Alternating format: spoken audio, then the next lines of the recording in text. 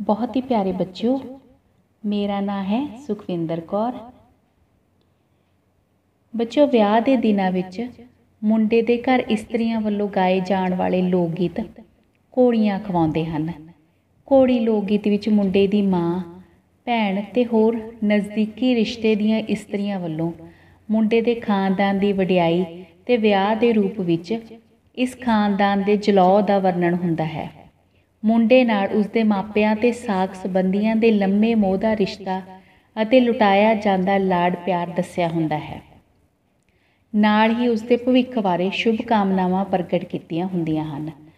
ਘੋੜੀਆਂ ਵਿੱਚ ਵਿਆਹੇ ਜਾਣ ਵਾਲੇ ਮੁੰਡੇ ਨੂੰ ਜਨਮ ਤੋਂ ਹੀ ਭਾਗਾ ਵਾਲਾ ਦੱਸਿਆ ਜਾਂਦਾ ਹੈ। ਉਸਦੇ ਜਨਮ ਤੇ ਸਾਰਿਆਂ ਵੱਲੋਂ ਕਿਵੇਂ ਖੁਸ਼ੀਆਂ ਮਨਾਈਆਂ ਗਈਆਂ, ਕਿਵੇਂ ਤੋਹਫੇ ਵੰਡੇ ਗਏ, ਆਦ ਦਾ ਵਰਣਨ ਘੋੜੀਆਂ ਵਿੱਚ ਆਮ ਮਿਲਦਾ ਹੈ। ਮੁੰਡੇ ਦੇ ਪਰਿਵਾਰ ਦੀ ਆਰਥਿਕ ਖੁਸ਼ਹਾਲੀ ਅਤੇ ਉੱਚੇ ਸਮਾਜਿਕ ਰੁਤਬੇ ਦੀ ਵਡਿਆਈ ਵੀ ਕੀਤੀ ਜਾਂਦੀ ਹੈ। ਘੋੜੀ ਚੜ੍ਹਨ ਵੇਲੇ ਦੀ ਸ਼ਾਨ ਨੂੰ ਭਿੰਨ-ਭਿੰਨ ਤਰੀਕਿਆਂ ਨਾਲ ਬਿਆਨ ਕੀਤਾ ਜਾਂਦਾ ਹੈ। ਮੁੰਡੇ ਦੇ ਵਸਤਰ, ਉਸ ਦਾ ਸੇਰਾ ਇੱਥੋਂ ਤੱਕ ਕਿ ਉਸ ਦੀ ਜੁੱਤੀ ਦੀ ਮਹਿਮਾ ਵੀ ਰੱਜ ਕੇ ਕੀਤੀ ਜਾਂਦੀ ਹੈ। ਉਸ ਦੇ ਸਹੁਰੇ ਘਰ ਨੂੰ ਵੀ ਉੱਚਾ ਦੱਸਿਆ ਜਾਂਦਾ ਹੈ। ਜਿਸ ਕਰਕੇ ਮੁੰਡਾ ਅਤੇ ਉਸ ਦੇ ਪਰਿਵਾਰ ਵਾਲੇ ਉਚੇਰੇ ਜਾਪਦੇ ਹਨ ਵਿਆਹ ਕੇ ਲਿਆਂਦੀ ਜਾਣ ਵਾਲੀ ਕੁੜੀ ਦੀ ਸੁੰਦਰਤਾ ਤੇ ਉਸਦੇ ਗੁਣਾਂ ਦੀ ਤਾਰੀਫ ਵੀ ਕੀਤੀ ਜਾਂਦੀ ਹੈ। ਘੋੜੀਆਂ ਵਿੱਚ ਹੋਰ ਨਿੱਕੇ ਨਿੱਕੇ ਵੇਰਵੇ ਉਦਾਹਰਨ ਵਜੋਂ ਘੋੜੀ ਚੜ੍ਹਨ ਵੇਲੇ ਦੀ ਰਸਮਾਂ ਅਤੇ ਘੋੜੀ ਦੇ ਸ਼ਿੰਗਾਰ ਆਦ ਦੇ ਵੇਰਵੇ ਹੁੰਦੇ ਹਨ। ਸੁਹਾਗ ਵਾਂਗ ਘੋੜੀਆਂ ਵਿੱਚ ਵੀ ਸਾਰੀਆਂ ਰਿਸ਼ਤੇਦਾਰੀਆਂ ਦੇ ਪ੍ਰਸੰਗ ਵਿੱਚ ਘੋੜੀ ਚੜ੍ਹਨ ਦੀ ਰਸਮ ਦਾ ਵਰਣਨ ਹੁੰਦਾ ਹੈ।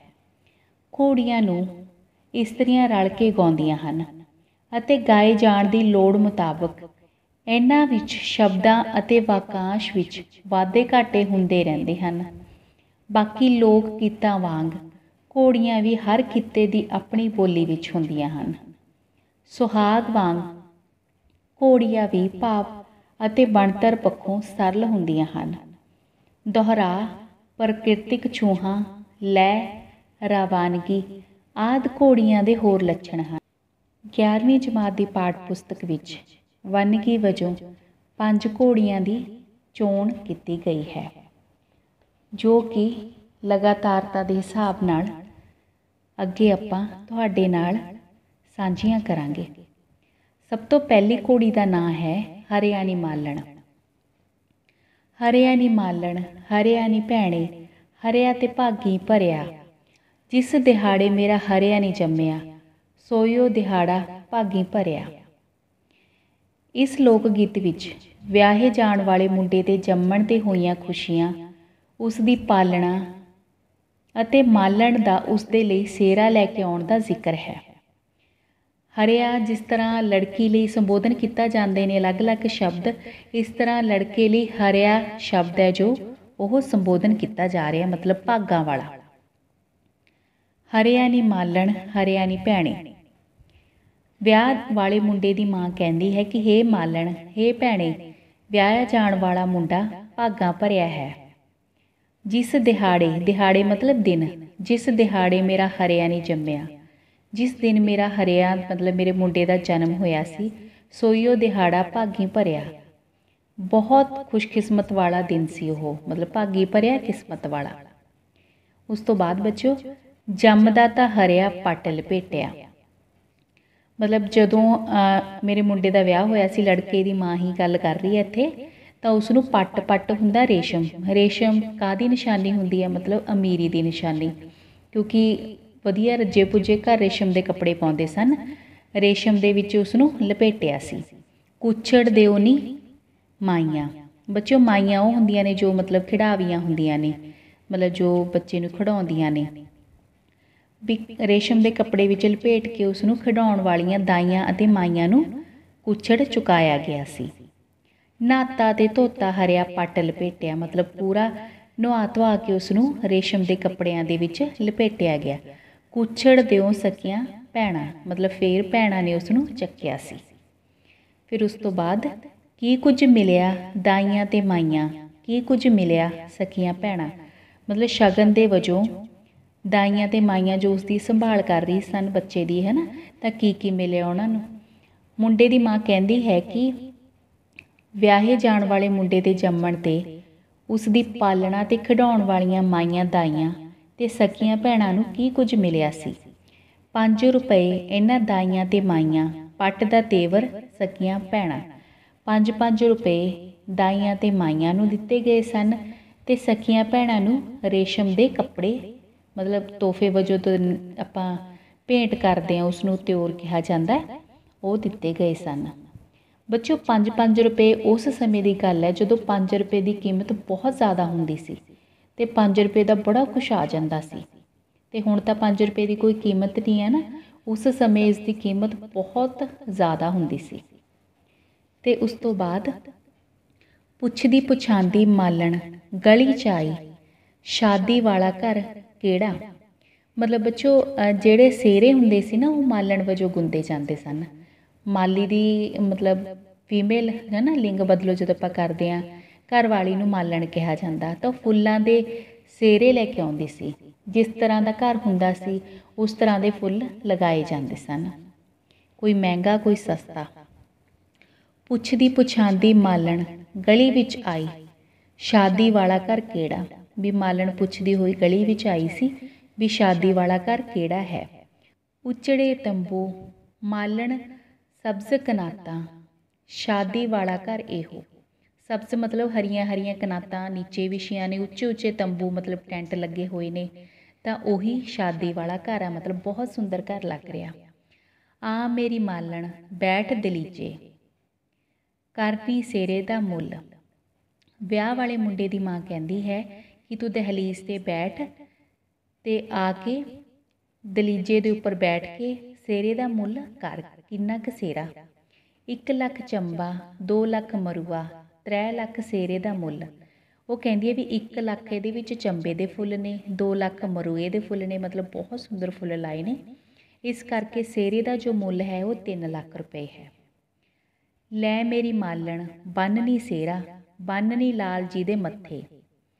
ਉਹ ਮਤਲਬ ਵਿਆਹ ਵਾਲੇ ਮੁੰਡੇ ਦੀ ਮਾਂ ਫੇਰ ਕਹਿੰਦੀ ਹੈ ਵੀ ਸੇਰਾ ਵਿਆਹ ਵਾਲੇ ਮੁੰਡੇ ਦੇ, ਮੇਰੇ ਲਾਲ ਦੇ ਮਤਲਬ ਮੇਰੇ ਮੁੰਡੇ ਦੇ ਸੇਰੇ ਤੇ ਮੱਥੇ ਤੇ ਬੰਨ। ਹਰਿਆ ਨਹੀਂ ਮਾਲਣ, ਹਰਿਆ ਨਹੀਂ ਭੈਣੇ, ਹਰਿਆ ਤੇ ਭਾਗੀ ਭਰਿਆ। ਉਹ ਫੇਰ ਉਹ ਕਹਿੰਦੇ ਵੀ ਮੇਰਾ ਹਰਿਆ ਬਹੁਤ ਭਾਗਾਂ ਨਾਲ ਭਰਿਆ ਹੋਇਆ ਹੈ ਬਹੁਤ ਹੀ ਕਿਸਮਤ ਵਾਲਾ ਹੈ ਤੇ ਬੱਚੇ ਹੁਣ ਇਸ ਦੇ ਨਾਲ ਸੰਬੰਧਿਤ ਆਪਾਂ ਪ੍ਰਸ਼ਨ ਉੱਤਰ ਸਾਂਝੇ ਕਰਾਂਗੇ। ਹਰਿਆ ਨਹੀਂ ਮਾਲਣ, ਲੋਕ ਗੀਤ ਦਾ ਰੂਪ ਕੀ ਹੈ? ਘੋੜੀ। ਵਿਆਹੇ ਜਾਣ ਵਾਲੇ ਮੁੰਡੇ ਲਈ ਕਿਹੜਾ ਸ਼ਬਦ ਵਰਤਿਆ ਗਿਆ ਹੈ? ਹਰਿਆ।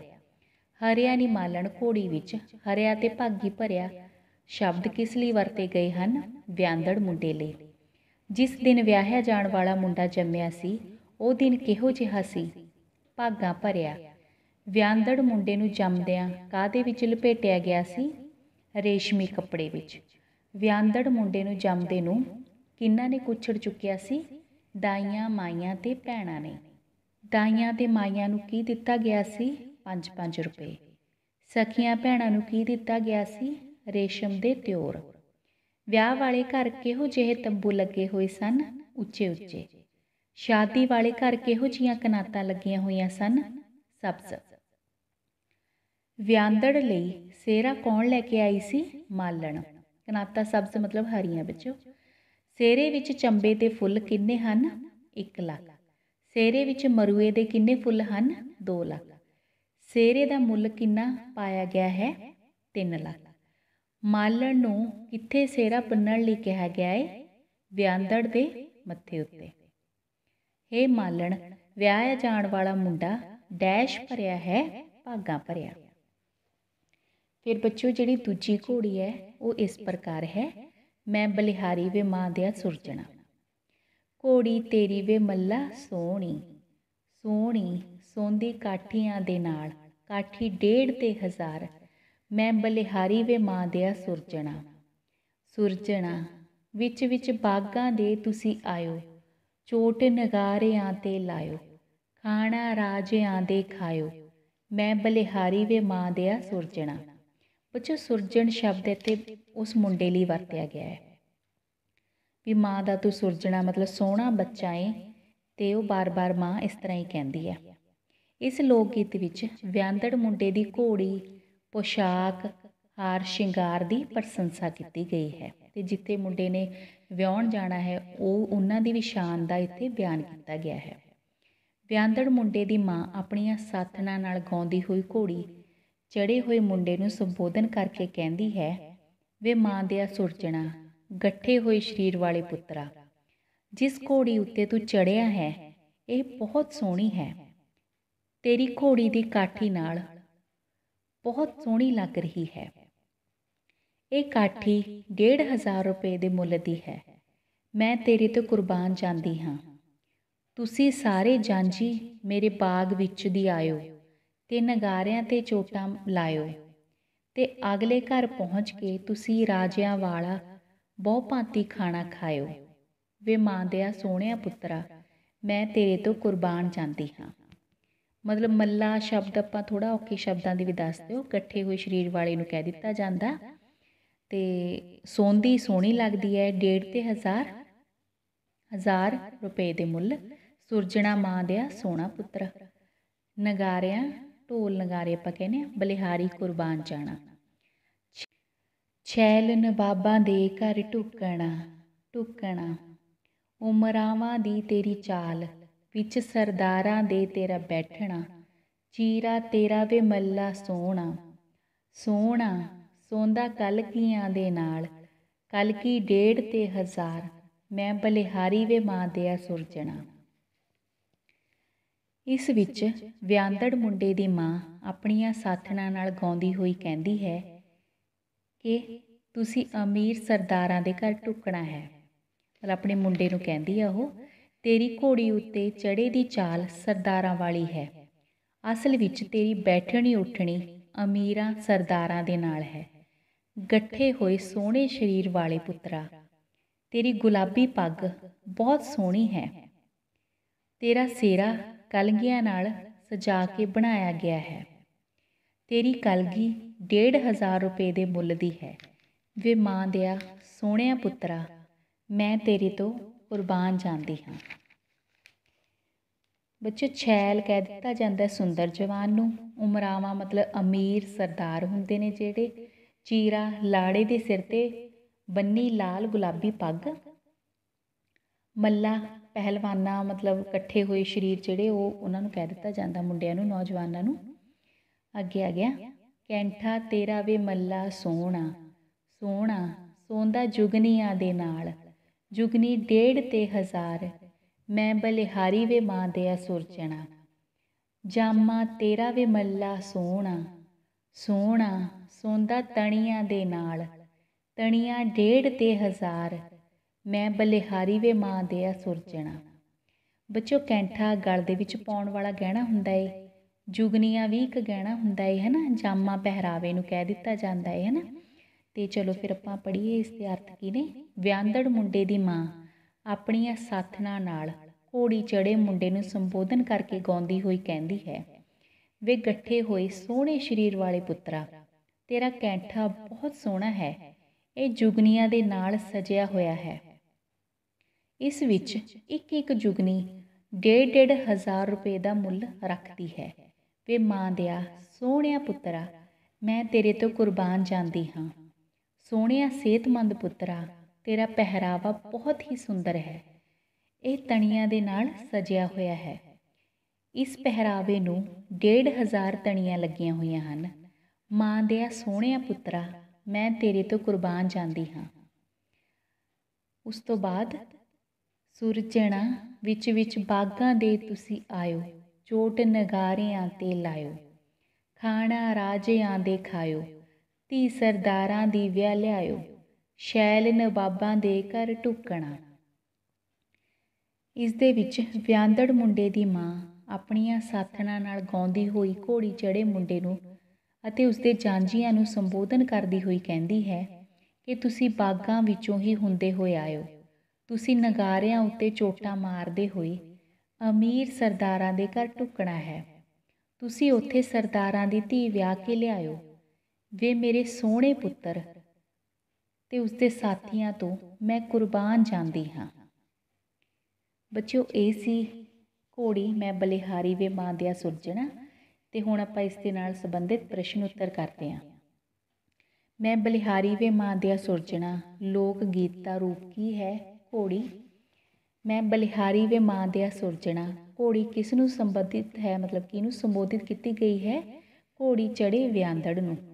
ਮੈਂ ਬਲਿਹਾਰੀ ਵੇ ਮਾਂ ਦਿਆ ਸੁਰਜਣਾ। ਘੋੜੀ ਵਿੱਚ ਵਿਆਂਦੜ ਮੁੰਡੇ ਦੀ ਕਿਸ ਗੱਲੋਂ ਪ੍ਰਸ਼ੰਸਾ ਅਤੇ ਵਡਿਆਈ ਕੀਤੀ ਗਈ ਹੈ? ਉਸ ਦੀ ਸ਼ਾਨ ਸ਼ੌਕਤ ਦੀ। ਵਿਆਂਦੜ ਦੀ ਘੋੜੀ ਕਿਸ ਚੀਜ਼ ਨਾਲ ਸੋਭ ਰਹੀ ਹੈ? ਕਾਠੀ ਨਾਲ। ਘੋੜੀ ਉੱਪਰ ਪਈ ਕਾਠੀ ਕਲਗੀ ਜੁਗਨੀ ਦੀ ਕੀਮਤ ਕਿੰਨੀ ਹੈ? 1500 ਰੁਪਏ। ਘੋੜੀ ਉੱਪਰ ਬੈਠੇ ਵਿਆਂਦੜ ਦੀ ਚਾਲ ਕਿਹੋ ਜਿਹੀ ਹੈ? ਸਰਦਾਰਾਂ ਵਰਗੀ। ਵਿਆਂਦੜ ਉਤੋਂ ਕੌਣ ਕੁਰਬਾਨ ਜਾ ਰਿਹਾ ਹੈ? ਮਾਂ। ਵਿਆਂਦੜ ਨੇ ਕਿਸ ਦੇ ਘਰ ਟੁਕਣਾ ਹੈ? ਨਵਾਬਾਂ ਦੇ ਘਰ। ਵਿਆਂਦੜ ਦਾ ਚੀਰਾ ਕਾਦੇ ਨਾਲ ਸਜਿਆ ਹੋਇਆ ਹੈ? ਕਲਗੀ ਨਾਲ। ਵਿਆਂਦੜ ਦੇ ਗਲ ਵਿੱਚ ਕੀ ਪਿਆ ਹੋਇਆ ਹੈ? ਕੈਂਠਾ। ਕੈਂਠਾ ਕਾਦੇ ਨਾਲ ਬਣਿਆ ਹੈ? ਜੁਗਨੀਆਂ ਦੇ ਨਾਲ ਸਜਿਆ ਹੈ। ਵਿਆਂਦੜ ਦਾ ਜਾਮਾ ਕਿਹੋ ਜਿਹਾ ਹੈ? ਬਹੁਤ ਸੋਹਣਾ। ਜਾਮੇ ਨਾਲ ਕੀ ਲੱਗਿਆ ਹੋਇਆ ਹੈ? ਤਣੀਆਂ। ਜਾਮਾ ਬੱਚੋ, ਪਹਿਰਾਵੇ ਨੂੰ ਕਿਹਾ ਜਾਂਦਾ ਉਹਦੇ, ਜੋ ਗਲ ਦੇ ਵਿੱਚ ਪਾਇਆ ਹੁੰਦਾ, ਮਤਲਬ ਕੁੜਤਾ ਦੀ ਤਰ੍ਹਾਂ ਹੁੰਦਾ ਹੈ। ਮਾਂ ਵਿਆਂਦੜ ਤੇ ਉਸਦੇ ਬਰਾਤੀਆਂ ਨੂੰ ਕਿੰਨਾ ਦੇ ਪੁੱਤ ਅਖਵਾਉਣਾ ਪਸੰਦ ਕਰਦੀ ਹੈ? ਸਰਤਾਰਾਂ ਦੇ। ਮੈਂ ਬਲਿਹਾਰੀ ਵੇ ਮਾਂ ਦਿਆ ਸੁਰਜਣਾ ਕੋੜੀ ਵਿੱਚ ਕੌਣ? ਵਿਆਂਦੜ ਮੁੰਡੇ ਤੋਂ ਕੁਰਬਾਨ ਜਾਂਦੀ ਹੈ ਉਸ ਦੀ ਮਾਂ। ਉਸ ਤੋਂ ਬਾਅਦ ਹੈ ਘੋੜੀ, ਮੱਥੇ ਤੇ ਚਮਕਣ ਵਾਲ। ਮੱਥੇ ਤੇ ਚਮਕਣ ਵਾਲ, ਮੇਰੇ ਬੰਨੜੇ ਦੇ। ਮੱਥੇ ਤੇ ਚਮਕਣ ਵਾਲ, ਮੇਰੇ ਬੰਨੜੇ ਦੇ। ਆਵੇ ਬੰਨਾ, ਬੰਨ ਸ਼ਗਨਾਂ ਦਾ ਗਾਨਾ। ਆਵੇ ਬੰਨਾ, ਬੰਨ ਸ਼ਗਨਾਂ ਦਾ ਗਾਨਾ। ਗਾਨੇ ਦੇ ਫੁੰਮਣ ਚਾਰ, ਮੇਰੇ ਬੰਨੜੇ ਦੇ। ਮੱਥੇ ਤੇ ਚਮਕਣ ਵਾਲ ਮੇਰੇ ਬੰਨੜੇ ਦੇ ਆਵੇ ਬੰਨਾ, ਲਾ ਸ਼ਗਨਾਂ ਦੀ ਮਹਿੰਦੀ। ਆਵੇ ਬੰਨਾ, ਲਾ ਸ਼ਗਨਾਂ ਦੀ ਮਹਿੰਦੀ। ਮਹਿੰਦੀ ਦਾ ਰੰਗ ਸੂਹਾ ਲਾਲ। ਮੇਰੇ ਬੰਨੜੇ ਦੇ ਮੱਥੇ ਤੇ ਚਮਕਣ ਵਾਲ ਮੇਰੇ ਬੰਨੜੇ ਦੇ ਬੱਚੋ, ਅਸਲ ਦੇ ਵਿੱਚ ਇਹ ਜਿਹੜੀਆਂ ਘੋੜੀਆਂ ਹੁੰਦੀਆਂ ਨੇ ਜਾਂ ਸੁਹਾਗ, ਕੋਈ ਵੀ ਲੋਕ ਗੀਤ, ਉਹਨਾਂ ਨੂੰ ਆਪਾਂ ਪੜ੍ਹਨਾ ਨਹੀਂ ਹੁੰਦਾ। ਮਤਲਬ ਜਦੋਂ ਆਪਾਂ ਪੜ੍ਹਦੇ ਆ ਤਾਂ ਇਦਾਂ ਲੱਗਦਾ ਵੀ ਉਹਨਾਂ ਨਾਲ ਨਾ ਇਨਸਾਫੀ ਕਰ ਰਹੇ ਆ ਇਹ ਹਮੇਸ਼ਾ ਗਾਏ ਜਾਂਦੇ ਨੇ। ਪਰ ਹੁਣ ਤੁਹਾਨੂੰ ਸਮਝਾਉਣ ਲਈ ਮੈਨੂੰ ਪੜ੍ਹਨੇ ਪੈ ਰਹੇ ਨੇ। ਪਰ ਬੱਚਿਓ, ਆਪਾਂ ਜ਼ਰੂਰ ਇੱਕ ਵੀਡੀਓ ਜਿਸ ਤਰ੍ਹਾਂ ਆਪਾਂ ਸੁਹਾਗ ਗਾਏ ਨੇ, ਉਸ ਤਰ੍ਹਾਂ ਅਪਲੋਡ ਕਰਾਂਗੇ, ਜਿਸ ਦੇ ਵਿੱਚ ਇਹਨਾਂ ਦੀ ਬਣਦੀ ਜੋ ਇੱਕ ਜਗ੍ਹਾ ਹੈ ਗਾ ਕੇ ਇਹਨਾਂ ਨੂੰ ਪੜਿਆ ਜਾਏ। ਮਤਲਬ, ਠੀਕ ਹੈ? ਸੋ ਹੁਣ ਤੁਹਾਨੂੰ ਸਮਝਾਉਣ ਲਈ ਇਦਾਂ ਪੜਨਾ ਪੈ ਰਿਹਾ, ਪਰ ਇਹਨਾਂ ਦੀ ਅਸਲੀ ਜਗ੍ਹਾ ਇਹ ਨਹੀਂ ਹੈ ਤੇ ਚਲੋ ਪਾਰਥ ਕਰਦੇ ਹਾਂ। ਇਸ ਘੋੜੀ ਵਿੱਚ ਮਾਂ ਦੇ ਆਪਣੇ ਪੁੱਤਰ ਦੇ ਵਿਆਹ ਸੰਬੰਧੀ ਚਾਵਾਂ ਨਾਲ ਭਰੇ ਭਾਵ ਅੰਕਿਤ ਹਨ। ਇਸ ਵਿੱਚ ਪੁੱਤਰ ਦੇ ਵਿਆਹਣ ਲਈ ਚੜਨ ਸਮੇਂ ਉਸ ਦੀ ਵੀਣੀ ਉੱਤੇ ਬੰਨੇ ਜਾਣ ਵਾਲੇ, ਫੁੰਮਣਾ ਵਾਲੇ ਗਾਨੇ, ਹੱਥਾਂ ਵਿੱਚ ਲਾਈ ਜਾਣ ਵਾਲੀ ਲਾਲ ਮਹਿੰਦੀ, ਮੱਥੇ ਉੱਤੇ ਬੰਨੇ ਜਾਣ ਵਾਲੀਆਂ ਲੜੀਆਂ ਵਾਲੇ ਜੋ ਸੇਰੇ ਅਤੇ ਘੋੜੀ ਉੱਤੇ ਚੜ ਕੇ ਲਾੜੀ ਨੂੰ ਵਿਆਹ ਕੇ ਲਿਆਉਣ ਦਾ ਜ਼ਿਕਰ ਹੈ। ਮਾਂ ਆਪਣੇ ਪੁੱਤਰ ਦੇ ਵਿਆਹਣ ਲਈ ਚੜ੍ਹਨ ਦੇ ਸਮੇਂ ਨਾਲ ਸੰਬੰਧਿਤ ਆਪਣੇ ਚਾਵਾਂ ਨੂੰ ਬਿਆਨ ਕਰਦੀ ਹੋਈ, ਲਾੜੇ ਦੇ ਰੂਪ ਵਿੱਚ ਸੱਜ ਰਹੇ ਆਪਣੇ ਪੁੱਤਰ ਨੂੰ ਕਹਿੰਦੀ ਹੈ ਕਿ ਲਾੜਾ ਬਣੇ ਉਸਦੇ ਪੁੱਤਰ ਦੇ ਮੱਥੇ ਉੱਤੇ ਵਾਲ ਚਮਕ ਰਹੇ ਹਨ। ਉਹ ਆ ਕੇ ਉਸ ਤੋਂ ਆਪਣੀ ਵੀਣੀ ਉੱਤੇ ਸ਼ਗਨਾਂ ਦਾ ਗਾਨਾ ਬਣਾਵੇ, ਜਿਸ ਨਾਲ ਲੱਗੇ ਹੋਏ ਚਾਰ ਫੁੰਮਣ ਬਹੁਤ ਸੋਹਣੇ ਲੱਗਣਗੇ। ਉਹ ਆਵੇ ਤੇ ਉਸਦੇ ਹੱਥਾਂ ਉੱਤੇ ਸ਼ਗਨਾਂ ਦੀ ਮਹਿੰਦੀ ਲਵਾ ਲਵੇ। ਜਿਸ ਦਾ ਸੂਹਾ ਲਾਲ ਰੰਗ ਬਹੁਤ ਹੀ ਸੋਹਣਾ ਲੱਗਦਾ ਹੈ। ਇਸ ਤਰ੍ਹਾਂ ਮੇਰਾ ਪੁੱਤਰ ਲਾੜਾ ਬਣ ਕੇ ਬਹੁਤ ਹੀ ਸੁੰਦਰ ਲੱਗ ਰਿਹਾ ਹੈ। ਉਸ ਦੇ ਮੱਥੇ ਉੱਤੇ ਚਮਕਦੇ ਵਾਲ ਉਸ ਦੀ ਖੂਬਸੂਰਤੀ ਨੂੰ ਵਧਾ ਰਹੇ ਹਨ। ਬੱਚੋ ਬੰਨੜਾ ਲਾੜੇ ਨੂੰ ਕਿਹਾ ਗਿਆ ਜਿਸ ਦਾ ਵਿਆਹ ਹੁੰਦਾ ਹੈ, ਫੁੰਮਣ ਰੇਸ਼ਮ ਜਾਂ ਸੂਤ ਦਾ ਬਣਿਆ ਹੋਇਆ ਫੁੱਲ ਹੁੰਦਾ ਹੈ, ਮਤਲਬ ਜੋ ਗਾਨੇ ਨਾਲ ਬੰਨਿਆ ਜਾਂਦਾ ਹੈ ਜਾਂ ਮਤਲਬ ਕੱਪੜਿਆਂ ਦੇ ਉੱਪਰ ਵੀ ਲਗਾ ਦਿੱਤਾ ਜਾਂਦਾ ਹੈ ਤੇ ਗਹਿਣਿਆਂ ਨਾਲ ਵੀ ਬੰਨ ਦਿੱਤਾ ਜਾਂਦਾ ਹੈ। ਸੂਹਾ ਲਾਲ, ਬਹੁਤ ਲਾਲ। ਆਵੇ ਬੰਨਾ ਬਨ ਸ਼ਗਨਾਂ ਦਾ ਸੇਰਾ। ਆਵੇ ਬੰਨਾ ਬਨ ਸ਼ਗਨਾਂ ਦਾ ਸੇਰਾ। ਸੇਰੇ ਦੀਆਂ ਲੜੀਆਂ ਚਾਰ ਮੇਰੇ ਬੰਨੜੇ ਦੇ। ਮੱਥੇ ਤੇ ਚਮਕਣ ਵਾਲ ਮੇਰੇ ਬੰਨੜੇ ਦੇ। ਆਵੇ ਬੰਨਾ ਚੜ ਸ਼ਗਨਾਂ ਦੀ ਘੋੜੀ। ਆਵੇ ਬੰਨਾ ਚੜ ਸ਼ਗਨਾਂ ਦੀ ਘੋੜੀ। ਜੋੜੀ ਭਰਾਵਾਂ ਦੀ ਨਾਲ ਮੇਰੇ ਬੰਨੜੇ ਦੇ। ਮੱਥੇ ਤੇ ਚਮਕਣ ਵਾਲ ਮੇਰੇ ਬੰਨੜੇ ਦੇ। ਮਾਂ ਆਪਣੇ ਪੁੱਤਰ ਨੂੰ ਘੋੜੀ ਚੜ੍ਹਨ ਸਮੇਂ ਬਹੁਤ ਹੀ ਪਿਆਰ ਨਾਲ ਦੁਲਾਰਦੀ ਹੋਈ ਗੀਤ ਗਾਉਂਦੀ ਹੋਈ ਕਹਿੰਦੀ ਹੈ ਕਿ ਉਸਦੇ ਲਾੜੇ ਦੇ ਰੂਪ ਵਿੱਚ ਸਜੇ ਪੁੱਤਰ ਨੂੰ ਕਿਸੇ ਦੀ ਨਜ਼ਰ ਨਾ ਲੱਗੇ। ਮਤਲਬ ਬਹੁਤ ਸੋਹਣਾ ਲੱਗ ਰਿਹਾ ਹੈ ਉਹ। ਉਸਦੇ ਮੱਥੇ ਤੇ ਵਾਲ ਨੇ ਜੋ ਚਮਕ ਰਹੇ ਹਨ, ਬਹੁਤ ਸੁੰਦਰ ਹਨ। ਉਹ ਆ ਕੇ ਆਪਣੀਆਂ ਭੈਣਾਂ ਤੋਂ ਸ਼ਗਨਾਂ ਦਾ ਸਿਹਰਾ ਬਣਾਵੇ। ਜਿਸ ਦੀਆਂ ਉਸਦੇ ਚਿਹਰੇ ਤੇ ਜੋ ਲੜੀਆਂ ਨੇ, ਉਹ ਚਮਕ ਰਹੀਆਂ ਹਨ। ਬਹੁਤ ਸੁੰਦਰ ਲੱਗ ਰਹੀਆਂ ਹਨ। ਉਹ ਆਵੇ ਤੇ ਵਿਆਹਣ ਜਾਣ ਲਈ ਸ਼ਗਨਾਂ ਦੀ ਘੋੜੀ ਉੱਤੇ ਚੜੇ ਉਸ ਦੇ ਨਾਲ ਜਾ ਰਹੀ ਉਸ ਦੀ ਭਰਾਵਾਂ ਦੀ ਜੋੜੀ ਉਸ ਦੇ ਮਾਣ ਨੂੰ ਹੋਰ ਵੀ ਵਧਾ ਰਹੀ ਹੈ। ਉਸ ਦੇ ਮੱਥੇ ਉੱਤੇ ਚਮਕਦੇ ਵਾਲ ਬਹੁਤ ਸੁੰਦਰ ਲੱਗ ਰਹੇ ਹਨ। ਆਵੇ ਬੰਨਾ, ਲੈ ਸ਼ਗਨਾਂ ਦੀਆਂ ਲਾਵਾਂ। ਆ ਵੇ ਬੰਨਾ, ਲੈ ਸ਼ਗਨਾਂ ਦੀਆਂ ਲਾਵਾਂ, ਨਿੱਕੀ ਜਹੀ ਬੰਨੋ ਤੇਰੇ ਨਾਲ। ਮੇਰੇ ਬੰਨੜੇ ਦੇ, ਮੱਥੇ ਤੇ ਚਮਕਣ ਵਾਲ ਮੇਰੇ ਬੰਨੜੇ ਦੇ। ਆਵੇ ਬੰਨਾ, ਲਿਆ ਸ਼ਗਨਾਂ ਦਾ ਡੋਲਾ। ਆਵੇ ਬੰਨਾ, ਲਿਆ ਸ਼ਗਨਾਂ ਦਾ ਡੋਲਾ। ਮਾਏ ਨੇ ਪੀਤਾ ਪਾਣੀ ਵਾਰ ਮੇਰੇ ਬੰਨੜੇ ਦੇ, ਮੱਥੇ ਤੇ ਚਮਕਣ ਵਾਲ ਮੇਰੇ ਬੰਨੜੇ ਦੇ।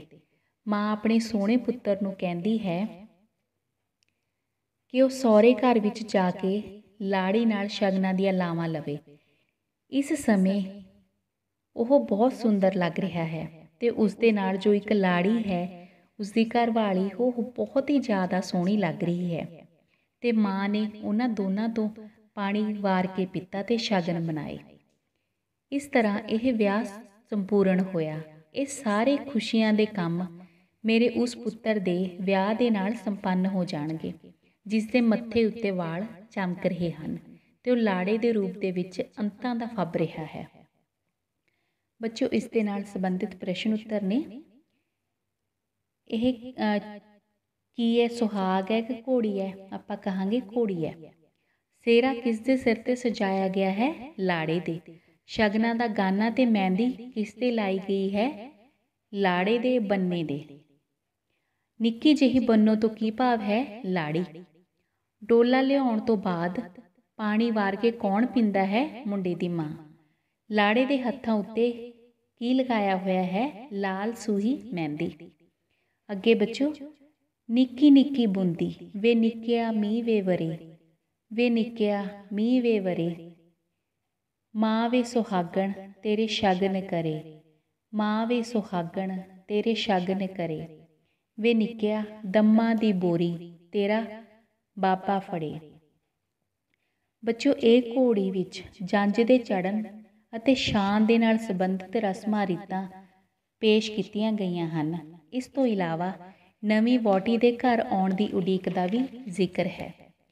ਜੰਜ ਚੜਨ ਸਮੇਂ ਮੇਲਣਾ, ਸ਼ਰੀਕਣਾ ਤੇ ਮੁੰਡੇ ਦੀਆਂ ਭੈਣਾਂ ਮਿਲ ਕੇ ਗਾਉਂਦੀਆਂ ਹੋਈਆਂ ਵਿਆਂਦੜ ਮੁੰਡੇ ਨੂੰ ਪਿਆਰ ਨਾਲ ਸੰਬੋਧਿਤ ਕਰਦੀਆਂ ਹਨ ਕਿ ਨਿੱਕੀਆਂ ਨਿੱਕੀਆਂ ਕਣੀਆਂ ਦਾ ਮੀਂਹ ਪੈ ਰਿਹਾ ਹੈ।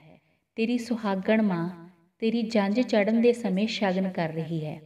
ਤੇਰੇ ਉੱਤੋਂ ਪੈਸੇ ਸੁੱਟਣ ਲਈ ਪੈਸਿਆਂ ਦੀ ਬੋਰੀ ਤੇਰੇ ਬਾਬੇ ਦੇ ਹੱਥਾਂ ਵਿੱਚ ਫੜੀ ਹੋਈ ਹੈ। ਦੰਮਾਂ ਦੀ ਬੋਰੀ ਤੇਰਾ ਬਾਬਾ ਵੇ ਫੜੇ। ਵੇ ਨਿੱਕਿਆ ਹਾਥੀਆਂ ਦੇ ਸੰਗਲ ਤੇਰਾ ਬਾਪ ਫੜੇ। ਹਾਥੀਆਂ ਦੇ ਸੰਗਲ ਤੇਰਾ ਬਾਪ ਫੜੇ। ਵੇ ਨਿੱਕਿਆ ਨੀਲੀ ਵੇ ਘੋੜੀ ਮੇਰਾ ਨਿਕੜਾ ਚੜੇ। ਇਸ ਸਮੇਂ ਮੁੰਡੇ ਨੂੰ ਪਿਆਰ ਨਾਲ ਸੰਬੋਧਨ ਕਰਦੀਆਂ ਹੋਈਆਂ। ਉਸ ਦੀਆਂ ਭੈਣਾਂ, ਭਾਬੀਆਂ, ਸ਼ਰੀਕਣਾ ਤੇ ਮੇਲਣਾ ਗਾਉਂਦੀਆਂ ਹਨ ਕਿ ਪੈਸੇ ਸੁੱਟਣ ਲਈ ਪੈਸਿਆਂ ਦੀ ਬੋਰੀ ਤੇਰੇ ਬਾਬੇ ਨੇ ਫੜ ਲਈ ਹੈ। ਤੇਰਾ ਬਾਪ ਨੇ ਹਾਥੀਆਂ ਦੇ ਸੰਗਲ ਫੜ ਲਏ ਹਨ ਤੇ ਜੰਜ ਵਿੱਚ ਸ਼ਾਮਿਲ ਕਰ ਲਿਆ ਹੈ ਉਹਨਾਂ ਨੂੰ। ਨੀਲੀ ਘੋੜੀ ਉੱਪਰ ਨਿੱਕਾ ਵਿਆਂਦੜ ਲਾੜਾ ਬਣ ਕੇ ਚੜ ਗਿਆ ਹੈ। ਇਸ ਤਰ੍ਹਾਂ ਜੰਜ ਬੜੇ ਜਲੌ ਤੇ ਸ਼ਾਨ ਨਾਲ ਤੁਰਨ ਲੱਗੀ ਹੈ। ਨੀਲੀ ਨੀਲੀ ਵੇ ਘੋੜੀ, ਮੇਰਾ ਨਿੱਕੜਾ ਚੜੇ, ਵੇ ਨਿੱਕਿਆ ਭੈਣ ਸੁਹਾਗਣ, ਤੇਰੀ ਵਾਗ ਫੜੇ। ਭੈਣ ਵੇ ਸੁਹਾਗਣ, ਤੇਰੀ ਵਾਗ ਫੜੇ, ਵੇ ਨਿੱਕਿਆ ਪੀਲੀ ਪੀਲੀ ਦਾਲ, ਤੇਰੀ ਘੋੜੀ ਚੜੇ। ਜੰਜ ਚੜਨ ਸਮੇਂ ਸ਼ਰੀਕਣਾ, ਮੇਲਣਾ ਤੇ ਮੁੰਡੇ ਦੀਆਂ ਭੈਣਾਂ ਭਾਬੀਆਂ ਮਿਲ ਕੇ ਗਾਉਂਦੀਆਂ ਹੋਈਆਂ ਕਹਿੰਦੀਆਂ ਹਨ ਕਿ ਨੀਲੀ ਘੋੜੀ ਉੱਤੇ ਨਿੱਕਾ ਵਿਆਂਦੜ ਮੁੰਡਾ ਲਾੜਾ ਬਣ ਕੇ ਚੜ ਗਿਆ ਹੈ। ਸੁਹਾਗਣ ਭੈਣ ਨੇ ਉਸ ਨੂੰ ਬਹੁਤ ਸ਼ਗਨ ਮਨਾ ਕੇ ਵਿਦਾ ਕਰਨ ਲਈ ਤਿਆਰ ਕੀਤਾ ਹੈ ਅਤੇ ਉਸ ਦੀ ਘੋੜੀ ਦੀ ਵਾਗ ਫੜ ਲਈ ਹੈ ਤੇ ਘੋੜੀ ਨੂੰ ਪੀਲੀ ਪੀਲੀ ਦਾਲ ਚਰਾਈ ਜਾ ਰਹੀ ਹੈ। ਪੀਲੀ ਪੀਲੀ ਦਾਲ, ਤੇਰੀ ਘੋੜੀ ਚਰੇ, ਵੇ ਨਿੱਕਿਆ ਭਾਬੀ ਵੇ ਸੁਹਾਗਣ, ਤੈਨੂੰ ਸੁਰਮਾ ਪਾਵੇ। ਜੰਝ ਚੜ੍ਹਨ ਸਮੇਂ ਸ਼ਰੀਕਣਾ, ਮੇਲਣਾ ਅਤੇ ਮੁੰਡੇ ਦੀਆਂ ਭੈਣਾਂ ਭਾਬੀਆਂ ਮਿਲ ਕੇ ਗਾਉਂਦੀਆਂ ਹੋਈਆਂ ਕਹਿੰਦੀਆਂ ਹਨ ਕਿ ਜਿਸ ਘੋੜੀ ਉੱਤੇ ਨਿੱਕਾ ਵਿਆਂਦੜ ਮੁੰਡਾ ਬੈਠਾ ਹੈ, ਉਹ ਭੈਣ ਦੁਆਰਾ ਪੇਸ਼ ਕੀਤੀ ਪੀਲੀ ਪੀਲੀ ਛੋਲਿਆਂ ਦੀ ਦਾਲ ਚੱਲ ਰਹੀ ਹੈ ਤੇ ਮੁੰਡੇ ਦੀ ਭਾਬੀ ਉਸ ਦੇ ਰੂਪ ਨੂੰ ਨਿਖਾਰਨ ਲਈ ਉਸ ਦੀਆਂ ਅੱਖਾਂ ਵਿੱਚ ਸੁਰਮਾ ਪਾ ਰਹੀ ਹੈ। ਭਾਬੀ ਵੇ ਸੁਹਾਗਣ, ਤੈਨੂੰ ਸੁਰਮਾ ਪਾਵੇ, ਵੇ ਨਿੱਕਿਆ ਰੱਤਾ ਰੱਤਾ ਡੋਲਾ, ਮੈਲੀ ਆਵੇ ਵੜੇ। ਰੱਤਾ ਰੱਤਾ ਡੋਲਾ, ਮੈਲੀ ਆਵੇ ਵੜੇ। ਵੇ ਨਿੱਕਿਆ, ਮਾਂ ਵੇ ਸੁਹਾਗਣ, ਪਾਣੀ ਵਾਰ ਪੀਵੇ। ਇਸ ਸਮੇਂ ਸਾਰੇ ਜੋ ਰਿਸ਼ਤੇਦਾਰਾਂ ਦੀਆਂ ਮੇਲਣਾ, ਸ਼ਰੀਕਣਾ, ਮੁੰਡੇ ਦੀਆਂ ਭੈਣਾਂ ਮਿਲ ਕੇ ਗਾਉਂਦੀਆਂ ਹੋਈਆਂ ਕਹਿੰਦੀਆਂ ਹਨ ਕਿ ਜਦੋਂ ਨਿੱਕਾ ਵਿਆਂਦੜ ਘੋੜੀ ਤੇ ਚੜ ਕੇ ਵਿਆਹਣ ਲਈ ਤੁਰਨ ਲੱਗਾ ਹੈ ਤਾਂ ਉਸ ਦੀ ਸੁੰਦਰਤਾ ਨਿਖਾਰਨ ਲਈ ਉਸ ਦੀ ਭਾਬੀ ਉਸ ਦੀਆਂ ਅੱਖਾਂ ਵਿੱਚ ਸੁਰਮਾ ਪਾ ਰਹੀ ਹੈ। ਸਾਰੇ ਘਰ ਦੇ ਮੇਲੀ ਮੇਲਣਾ ਇਹ ਉਡੀਕ ਕਰ ਰਹੇ ਹਨ ਕਿ ਕਦੋਂ ਵੋਟੀ ਲਾਲ ਡੋਲੇ ਸਮੇਤ ਘਰ ਵਿੱਚ ਆਵੇ ਤੇ ਮਾਂ ਉਸ ਤੋਂ ਸ਼ਗਨ ਕਰਦੀ ਹੋਈ ਪਾਣੀ ਵਾਰ ਕੇ ਪੀਵੇ। ਬੱਚੋ, ਇਸ ਦੇ ਨਾਲ ਸੰਬੰਧਿਤ ਕੁਝ ਪ੍ਰਸ਼ਨ ਉੱਤਰ ਹਨ ਕਿ ਨਿੱਕੀ ਨਿੱਕੀ ਬੁੰਦੀ ਲੋਕ ਗੀਤ ਕਿਸ ਵਰਨਗੀ ਦਾ ਹੈ? ਕੋੜੀ ਨਿੱਕੀ ਨਿੱਕੀ ਬੁੰਦੀ ਘੋੜੀ ਕਿਸ ਨੂੰ ਸੰਬੋਧਿਤ ਹੈ? ਵਿਆਂਦੜ ਮੁੰਡੇ ਨੂੰ। ਨਿੱਕੀ ਨਿੱਕੀ ਬੁੰਦੀ ਘੋੜੀ ਦਾ ਸਬੰਧ ਕਿਸ ਮੌਕੇ ਨਾਲ ਹੈ? ਜੰਜ ਚੜਨ ਦੇ ਨਾਲ।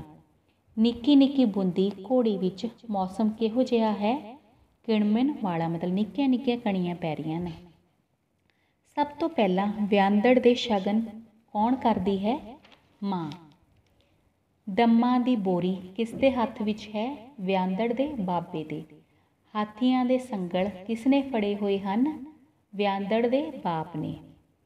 ਵਿਆਂਦੜ ਮਤਲਬ ਲਾੜੇ ਲਈ ਕਿਹੜਾ ਸ਼ਬਦ ਵਰਤਿਆ ਗਿਆ ਹੈ? ਨਿੱਕਿਆ।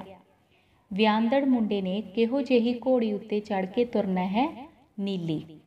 ਵਿਆਂਦੜ ਮੁੰਡੇ ਦੀ ਘੋੜੀ ਕਿਹੋ ਜਿਹੀ ਦਾਲ ਚੱਲ ਰਹੀ ਹੈ? ਪੀਲੀ ਪੀਲੀ। ਵਿਆਂਦੜ ਮੁੰਡੇ ਦੇ ਸੁਰਮਾ ਕੌਣ ਪਾ ਰਿਹਾ ਹੈ? ਭਾਬੀ। ਮਹਿਲਾਂ ਵਿੱਚ ਕਿਸ ਤੇ ਆਉਣ ਦੀ ਆਸ ਕੀਤੀ ਗਈ ਹੈ? ਰੱਤੇ ਡੋਲੇ ਦੇ। ਰੱਤੇ ਡੋਲੇ ਵਿੱਚ ਬੈਠ ਕੇ ਕੌਣ ਆਵੇਗਾ? ਨਵੀਂ ਵੋਟੀ ਕੌਣ ਪਾਣੀ ਵਾਰ ਕੇ ਪੀਵੇਗਾ? ਮਾਂ। ਨਿੱਕੀ ਨਿੱਕੀ ਬੁੰਦੀ ਘੋੜੀ ਵਿੱਚ ਕੌਣ ਘੋੜੀ ਤੇ ਚੜ ਰਹੇ ਵਿਆਂਦੜ ਦੇ ਮੁੰਡੇ 'ਤੇ ਸ਼ਗਨ ਕਰ ਰਹੀ ਹੈ? ਮਾਂ, ਭੈਣ ਤੇ ਭਾਬੀ।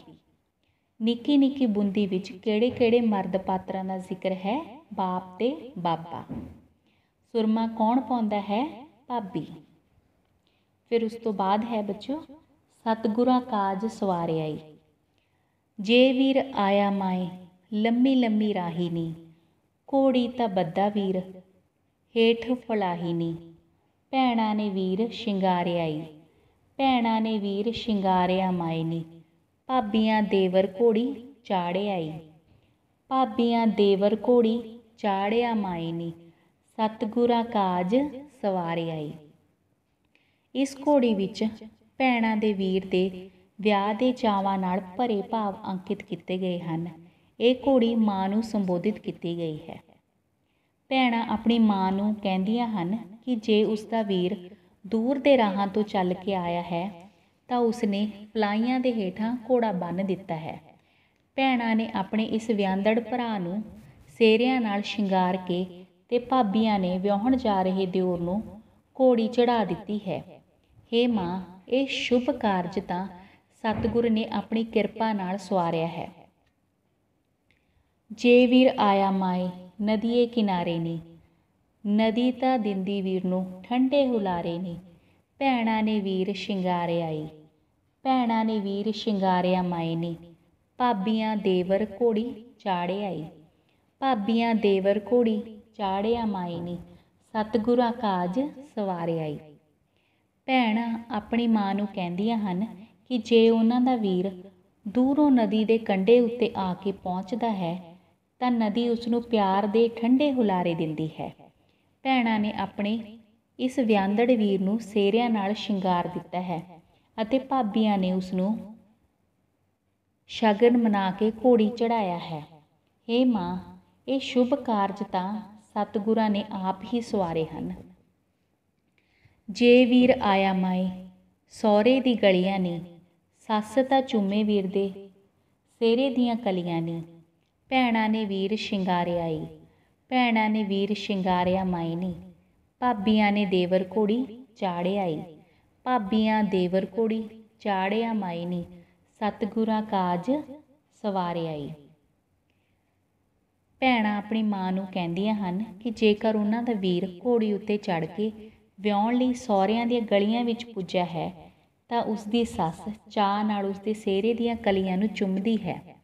ਇਸ ਵੀਰ ਨੂੰ ਉਸ ਦੀਆਂ ਭੈਣਾਂ ਨੇ ਸਿਹਰਿਆਂ ਨਾਲ ਸਜਾ ਕੇ ਤੇ ਭਾਬੀਆਂ ਨੇ ਇਸ ਦਿਓਰ ਨੂੰ ਘੋੜੀ ਉੱਤੇ ਚੜਾ ਕੇ ਵਿਆਹਣ ਲਈ ਤੋਰਿਆ ਹੈ।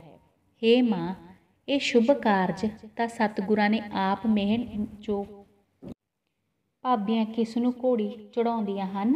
ਦਿਓਰ ਨੂੰ ਵੀਰ ਨੂੰ ਠੰਡੇ ਹੁਲਾਰੇ ਕੌਣ ਦਿੰਦਾ ਹੈ? ਨਦੀ। ਵੀਰ ਦੇ ਸਿਹਰੇ ਦੀਆਂ ਕਲੀਆਂ ਕੌਣ ਚੁੰਮਦਾ ਹੈ? ਸੱਸ। ਬੱਚਿਓ, ਇਹ ਸਨ ਪ੍ਰਸ਼ਨ ਉੱਤਰ। ਪਰ ਆਪਾਂ ਇਸ ਦੇ ਨਾਲ ਸੰਬੰਧਿਤ ਛੋਟੇ ਪ੍ਰਸ਼ਨ ਉੱਤਰ ਵੀ ਕਰਾਂਗੇ ਸਾਂਝੇ ਸਾਰਿਆਂ ਦੇ। ਵਿਆਹ ਦੇ ਦਿਨਾਂ ਵਿੱਚ ਮੁੰਡੇ ਦੇ ਘਰ ਇਸਤਰੀਆਂ ਵੱਲੋਂ ਗਾਏ ਜਾਣ ਵਾਲੇ ਲੋਕ ਗੀਤ ਨੂੰ ਕੀ ਕਹਿੰਦੇ ਹਨ? ਘੋੜੀ। ਵਿਆਹ ਦੇ ਦਿਨਾਂ ਵਿੱਚ ਮੁੰਡੇ ਦੇ ਘਰ ਕਿਹੜੇ-ਕਿਹੜੇ ਲੋਕ ਗੀਤ ਗਾਏ ਜਾਂਦੇ ਹਨ? ਘੋੜੀਆਂ। ਘੋੜੀਆਂ ਵਾਲੇ ਜੋ ਵਿਆਹੇ ਜਾਣ ਵਾਲੇ ਮੁੰਡੇ ਦੇ ਜਨਮ ਤੋਂ ਉਸ ਨੂੰ ਕੀ ਦੱਸਿਆ ਜਾਂਦਾ ਹੈ? ਭਾਗਾਂ ਭਰਿਆ। ਵਿਆਹੰਦੜ ਮੁੰਡੇ ਦੇ ਵਸਤਰਾਂ ਸੇਰੇ ਤੇ ਜੁੱਤੀ ਦੀ ਪ੍ਰਸ਼ੰਸਾ ਕਿਹੜੇ ਲੋਕ ਗੀਤਾਂ ਵਿੱਚ ਹੁੰਦੀ ਹੈ? ਘੋੜੀਆਂ ਵਿੱਚ। ਭਾਵ ਬਣਤਰ ਪੱਖੋਂ ਘੋੜੀ ਕਿਹੋ ਜਿਹੀ ਹੁੰਦੀ ਹੈ? ਸਰਲ, ਸਾਦੀ। ਮਤਲਬ ਬਹੁਤ ਸਰਲ ਹੁੰਦੀ ਹੈ ਬੱਚੋ ਦੋ ਤਿੰਨ ਸਤਰਾਂ ਹੀ ਹੁੰਦੀਆਂ ਨੇ, ਬਾਕੀ ਫਿਰ ਉਹੀ ਚੱਲ ਜਾਂਦਾ, ਬਹੁਤ ਸੌਖੀ ਹੁੰਦੀ ਆ। ਤਾਂ ਹੀ ਇਹ ਮੌਖਿਕ ਰੂਪ ਦੇ ਵਿੱਚ ਲਗਾਤਾਰ ਹੀ ਆਪਣੇ ਕੋਲ ਇਹ ਆ ਰਹੀ ਹੈ। ਮਤਲਬ ਵੱਡੇ ਛੋਟਿਆਂ ਨੂੰ ਸੁਣਦੇ ਨੇ, ਛੋਟੇ ਫਿਰ ਅੱਗੇ ਸੁਣਾਉਂਦੇ ਨੇ, ਫਿਰ ਇਸ ਤਰ੍ਹਾਂ ਸੁਣ ਸੁਣ ਕੇ ਬੱਚੋ ਸਾਰੇ ਜੋ ਆਪਣੇ ਪੰਜਾਬੀ ਸੱਭਿਆਚਾਰ ਦੇ ਵਿੱਚ ਇਹਨਾਂ ਦਾ ਪ੍ਰਚਾਰ ਹੁੰਦਾ ਰਿਹਾ ਹੈ, ਪਰ ਸਮੇਂ ਦੇ ਨਾਲ ਹੁਣ ਇਹ ਅਲੋਪ ਹੁੰਦੀਆਂ ਜਾ ਰਹੀਆਂ ਨੇ, ਪਰ ਆਪਾਂ ਅਲੋਪ ਨਹੀਂ ਹੋਣ ਦੇਣਾ। ਤੇ ਹੁਣ ਆਪਾਂ ਇਸ ਦੇ ਨਾਲ ਸੰਬੰਧਿਤ ਵਿਸਥਾਰ ਪੂਰਵਕ ਪ੍ਰਸ਼ਨ ਉੱਤਰ ਕਰਦੇ ਹਾਂ। ਹਰਿਆਣੀ ਮਾਲਣ ਘੋੜੀ ਵਿੱਚ ਵਿਆਹੇ ਜਾਣ ਵਾਲੇ ਮੁੰਡੇ ਨੂੰ ਕਿਵੇਂ ਵਿਸ਼ੇਸ਼ ਤੇ ਵਿਲੱਖਣ ਦਰਸਾਇਆ ਗਿਆ ਹੈ?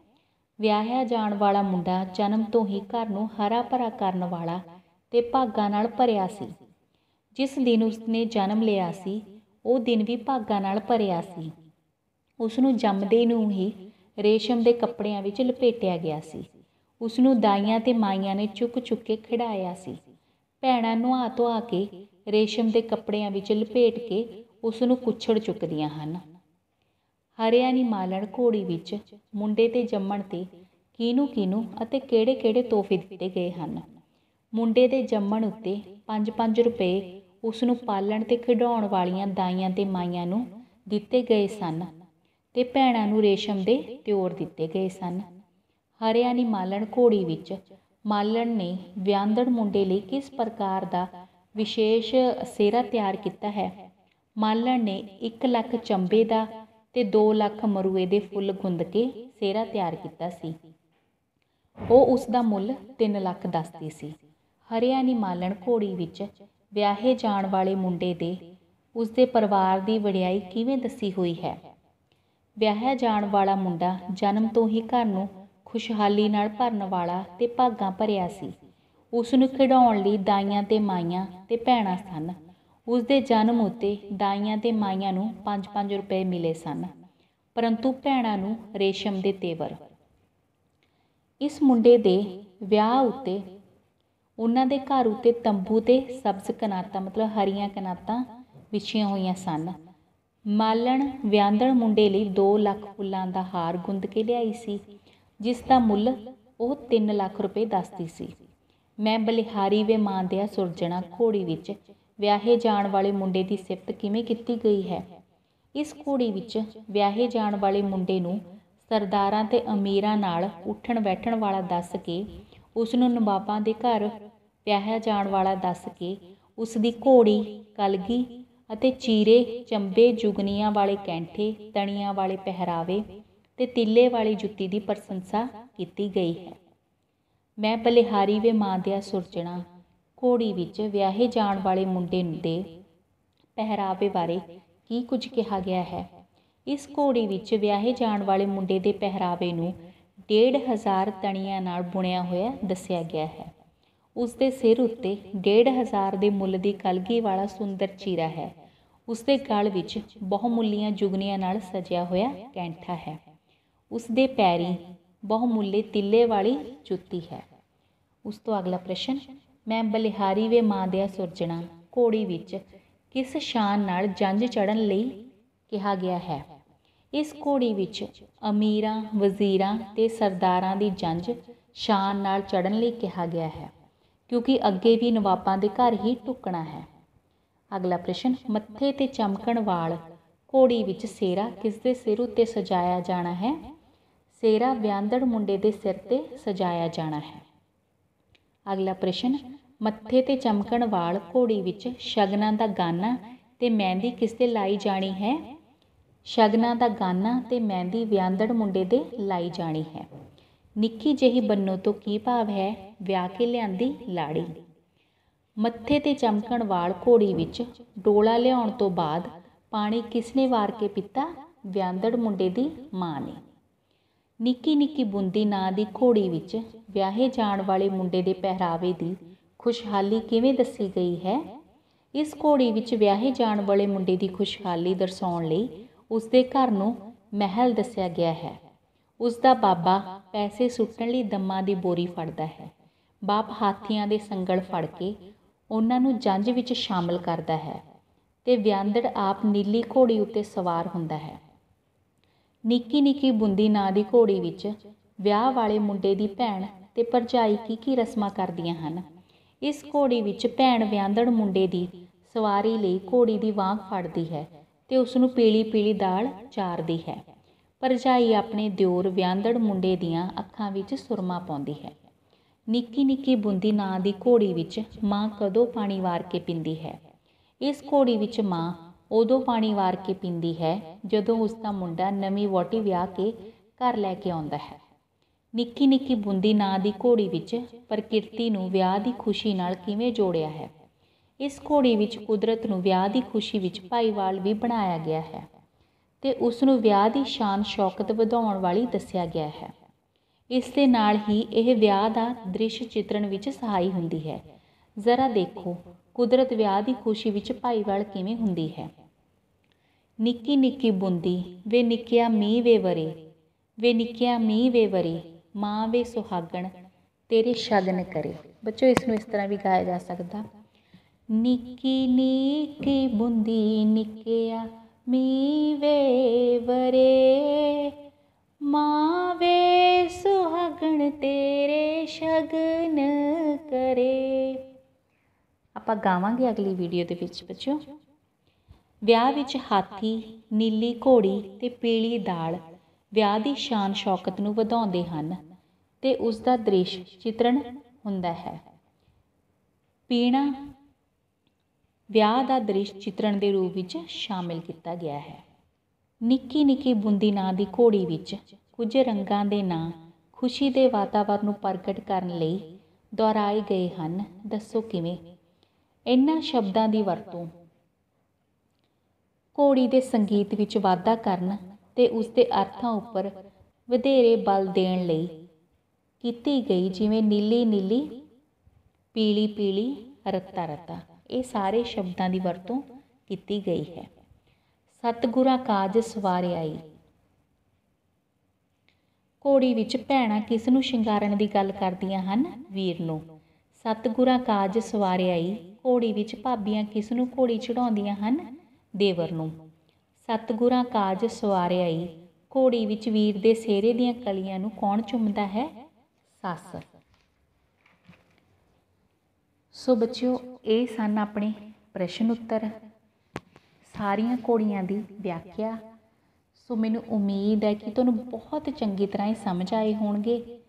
ਸੁਣਨ ਅਤੇ ਸਮਝਣ ਲਈ ਤੁਹਾਡਾ ਬਹੁਤ ਬਹੁਤ ਧੰਨਵਾਦ। ਅਤੇ ਤੁਸੀਂ ਸਾਰਿਆਂ ਨੇ ਪ੍ਰਣ ਵੀ ਕਰਨਾ ਵੀ ਆਪਣੇ ਪੰਜਾਬੀ ਸੱਭਿਆਚਾਰ ਨੂੰ ਆਪਾਂ ਰੋਲਣਾ ਨਹੀਂ ਹੈ, ਸਗੋਂ ਆਪਾਂ ਇਸ ਨੂੰ ਬਚਾ ਕੇ ਰੱਖਣਾ ਹੈ ਇਸ ਨੂੰ ਜਿਉਂਦੇ ਰੱਖਣਾ ਹੈ। ਧੰਨਵਾਦ ਬੱਚਿਓ।